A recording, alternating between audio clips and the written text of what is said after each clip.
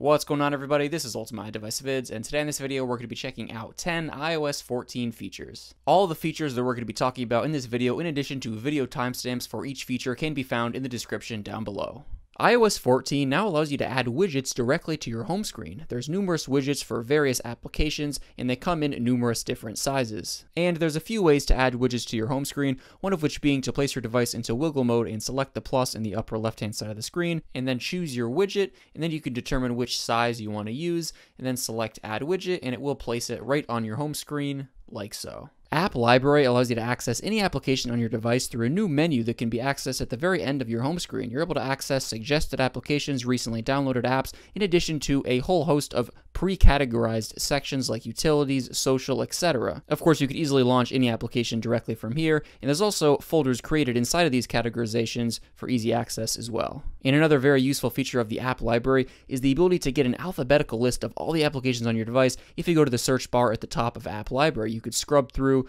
with the alphabet on the right side, and again, have the ability to look at all your applications alphabetically directly from this list. And of course, you also have the ability to search for applications at the top if you want to do that as well iOS 14 now allows you to hide individual home screen pages from your device. To do this, place your device into wiggle mode and then select the page dots at the bottom of the screen. And from here, you can enable and disable specific pages. If you only leave a few home screen pages visible, or maybe even just one home screen page visible, that works particularly well with App Library because it allows you to get rid of those cluttered home screen pages, but still have the ability to access any app on your device easily from the App Library iOS 14 now brings picture in picture video to the iPhone, so you can now watch a video on your device while you're multitasking, going into other applications, and of course, you can move this window to anywhere on your screen. You can tap on it to get play pause controls and the ability to go back or forward 15 seconds. You could also close the video by selecting the X or go back to the application that the video is from by selecting the button in the upper right hand corner. You could also dock the video on the side of the screen if you just want to listen to the audio, if you want to do that as well iOS 14 introduces a new incoming call interface that doesn't obstruct the entire screen, so you can still interact with your device while a call is coming in, and you could of course decline the call or pick up the call without your content being obstructed.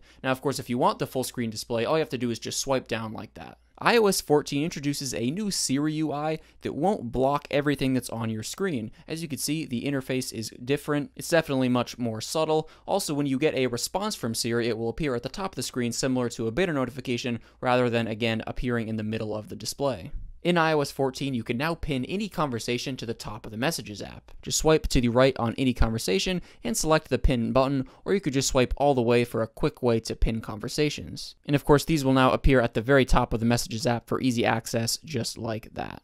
And I wanted to point out a few nice details for pinned conversations. As you can see, when someone's typing to you from a conversation that you have pinned, you can see you get that nice dot dot dot animation. And of course, when the message arrives, you also get another nice animation, as you can see right there. Within iMessage group chats in iOS 14, you're now able to respond to individual people within a conversation. Just tap and hold on a message and select reply, and again, you can respond to an individual person. So after you do this, you're able to view the conversation just between you and that person, in addition to being able to view that conversation within the context of the group as well. And another welcome change to iMessage group chats in iOS 14 is the ability to set a picture or an emoji as the image for your group chat. To do so, open up a group chat, select the info button and then tap change name or photo and you could select what you want to use from here. Alright guys, that wraps it up for this video. Thank you so much for watching and I'll catch you in the next one.